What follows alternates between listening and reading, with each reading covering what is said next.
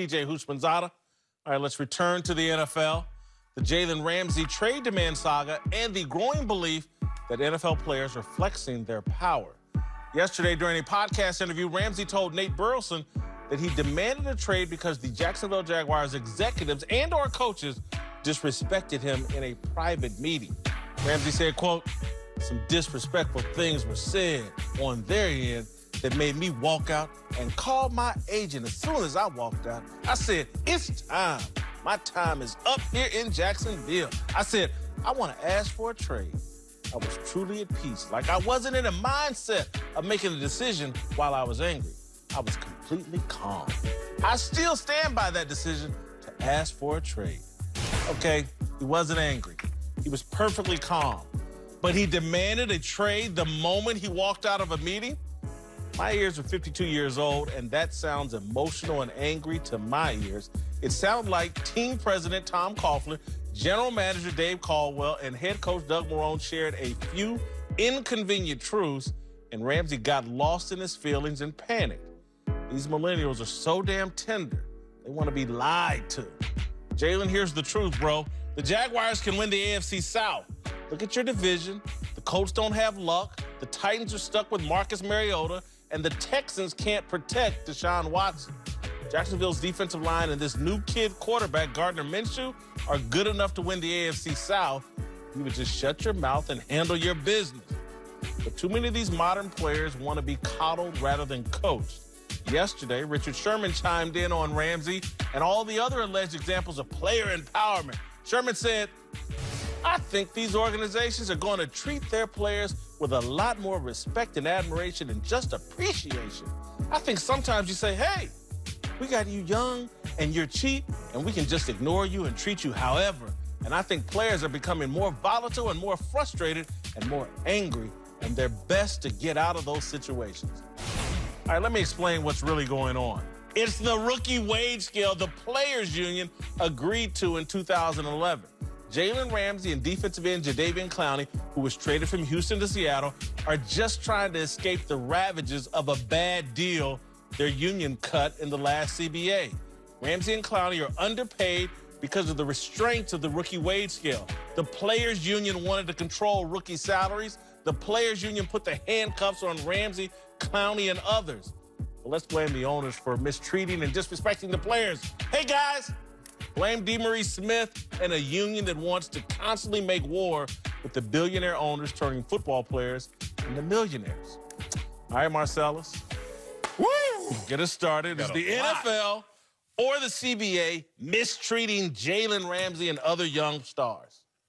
No, the NFL no, the CBA is not mistreating them. Um, this is a grander issue than both of those. Mm. One, let's talk about DeMaurice, DeMaurice Smith, uh, DeMaurice, whatever you want to call it. Um, I respect my man, but uh, I always mess his name up. Um, D. Smith. D. D. Smith. D. Smith. There you go. There you and go. Right. He was listening to the players, those veteran players. I remember hearing about them because I was at ESPN at the time, and those veteran players were complaining. Yes. Sam Bradford got 50 million guaranteed. I was in the meetings. I was a player rep. Okay, I'm gonna leave that at level to you because all D. Smith did was listen to his constituents and say, you know what? I'm going to do what you guys want. So I'm gonna absolve him of issue there. But let's talk about the greater issue with. It's a battle, and this is an age-old battle no matter what your age is. It's a battle between convenience and commitment. And if you think this is just about Jalen Ramsey and his new power level, I'm here to tell you that it doesn't matter how old you are, this is what you go through. Let's talk about it. We talking about Jalen Ramsey right now. Two years ago with the Jacksonville Jaguars in the AFC Championship game, well, we've been talking about this? No, probably not. He's in a different place and different value. Let's talk about Lonzo, wanting to change the Triple B name right now, mm. and his commitment to what he started. It's Is it broken. the same? Uh-uh, uh-uh. It's broken, and all those issues. Let's talk about Colin Kaepernick and what he started, and his commitment to it, or the battle of convenience when things get rough. Let's talk about my man, one of my favorite people ever, Magic Johnson, and his battle between what's convenient and what I'm committed to. And even Magic Johnson at a certain point just and his are almost beat for beat with Jalen Ramsey. Just walk in, I don't like what I'm hearing, I don't like this, out. and that's why I'm saying it's not about if you're a baby boomer like Magic, Gen X, Gen Y, Gen Z, like Jalen Ramsey, we all get to a place where we have this confliction of the convenience of doing something versus the commitment of doing it. And I always describe commitment like this. commitment is when you have to do something and you only do it when you have to do it. Think about that. You only do what you have to do when you have to do it. Jalen don't have to do this no more. He ain't got to sit there and just take all this stuff. He coach three, four years, three years ago would have said to Jalen whatever he wanted, and Jalen was building. Now Jalen's in the position I ain't got to take that, and the list continues on and on. It's just a simple battle of empowerment that once you get to a certain place, you're guilty, I'm guilty, we're all guilty. You start to have this different equation.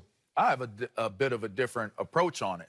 My my kind of take on it is, and I can remember when things turned personal with me in Washington. Mm. Um, once it turns when personal, your play slipped. Yeah, nah, my play didn't oh, slip. Oh. I, I, was, let it go. I was coming off my third Pro Bowl. I was coming off my go third ahead, Pro go ahead. I was, I was balling. First, uh, first, first pick. Go ahead, LeVar. Okay. Go ahead. And the reality of it, that's that's slick though, right there. That's real slick right there. Yeah. Hey, the, the, here's the reality of it is is that if we recall how everything started, the point that I was going to make is once it becomes personal, you can forget about it being about DeMaurice. You can forget about it being about uh, CBA agreements. This is personal.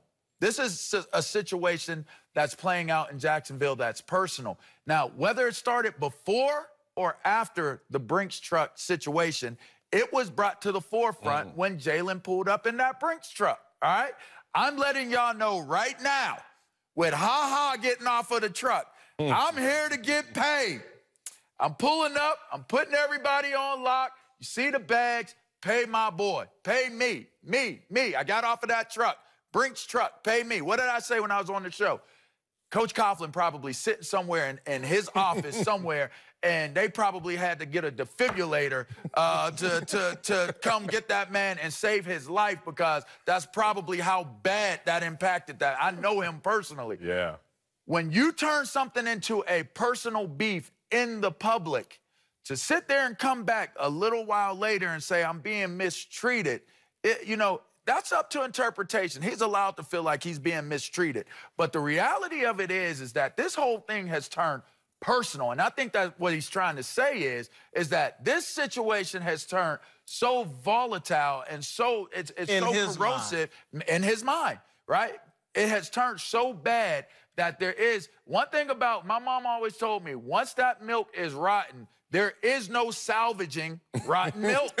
you got to throw it away. You can't you can't sift it or or or Jaguars owner can throw a bunch of million on it. Well, Look, hey, hey, it's I like think it's bad. It's bad. it all boils down to he wanted to. He showed up in the Brinks trucks. You know why? Because him and the agent were negotiating behind closed doors with Jacksonville. They offered him X amount. It was he felt disrespected.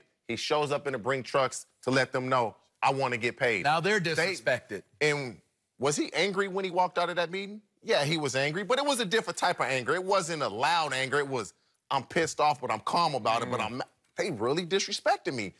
The CBA is designed as such where when we were sitting in the meetings like Marcellus talked about earlier, we're in those meetings. Mm. And the whole thing was the owners wanted to stop paying that rookie wage scale or stop paying Sam Bradford 30 million guaranteed. Fit. Oh, it's gonna go to the veteran players but that's why they're owners because they hoodwinked us. Mm. And it was, oh, it's not going to the players.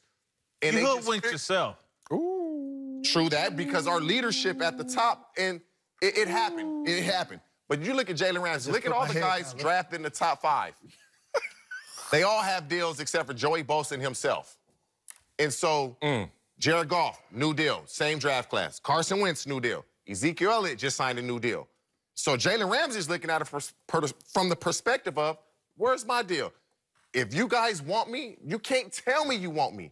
You got to show me, and you show me with the money. Well, period. Shad Khan just came out today. Yeah.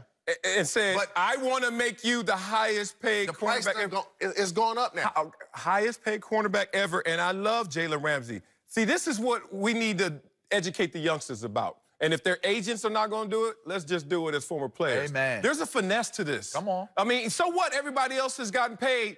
You expect to get paid, but how you approach it is where it's all. But you know, on, when you talk, but when you talking to your agent, and he, we gonna get this done. We gonna get this done. We gonna get this done. And it doesn't get done. You start to get frustrated. But you're What's going on? but- you start to get frustrated. Great. But you don't act out and and and and devalue You don't act that's out. A, that's but it's a this is a classic situation where Jalen is putting himself in a compromising situation because by sitting there going after it the way that he's going after it, it's making it volatile to to give him that money in He's a different organization. No, not just the organization that there we go, here we go. No, because the one that we're in right now currently. He whether he gets the money from Jacksonville or somebody else, he's getting it. No, we act know vi- that. So but it they're doesn't, it still doesn't matter. going to look at the information again. You said it the other day. Yeah. Why do you have uh, the the combines? Why do you have all of these interviews? They go back to your grade school and and talk to the principals that you had about what type of person you were when they're getting the information on you. This is going in book. They're going to look at the fact that he's It's not going disgruntled to affect every him. single time there's a situation. He's going to get this I think So you're I'm gonna right. deal with I don't. At know how I 24, feel about that. 25, gonna he's going to get the money. Yeah. I, I think. But but he can get it right here in Jacksonville. That's a good team. They've fallen into perhaps another quarterback to go along with with Nick Foles. I just don't think there was any reason to react emotionally. Although although Jalen Ramsey and his agent may say. By demanding this trade, may have forced the owner to step in and say, "We'll give you the money." Yeah, people don't understand it does affect you. You're right in the short term, in the present tense. As T.O., hmm. as Dez Bryant, hmm. your first at bat when you're 24 and you balling, hmm. you can Now, go up. No, no, let me finish this one. How many years did you T.O. can, play? No, no, let me finish this one. Your first at bat when you're in your fourth year, you, can- Swing you hard. can get three strikes. Your second at bat, they're gonna give you three strikes. Your third at bat, the first pitch, you're out. And you're like, what just happened? Because it was counting. Maybe you didn't see it. Maybe you wasn't counting with them. But when you get to a place where these greats don't even get to finish their career in proper decline, I agree Guess with you. what? It's coming back to you. I agree with it's that. in the book. LeVar, I'm gonna let you go, but I got oh, one more comment. You can go. You got a oh, football game oh, to you- coach. no, no, seriously, you got a football game to coach. You got to go. I just want to make one other comment though before we go. I still say this all comes down to this rookie wage scale because hmm. if there was no rookie wage scale, this dude would be highly paid. He would have got a hell of a contract as a rookie. Jadeveon Clowney would have got a hell of a con. They would be less. They would be more satiated and Jason, satisfied. you know what else that does too? Yeah. The old contracts, Sam Bradford would have signed for whatever he signed for. It raises the bar for everybody it else. raises everything. So when that drops, Yeah. now the franchise tag has lowered. The rookies were coming in raising the overall salary for whatever position you played, and now that's dropped, and it's a problem. You're All right. right, coming up. Baker Mayfield hasn't exactly lived up to the hype so far this season. Will he finally get going this week against the Rams? Find out.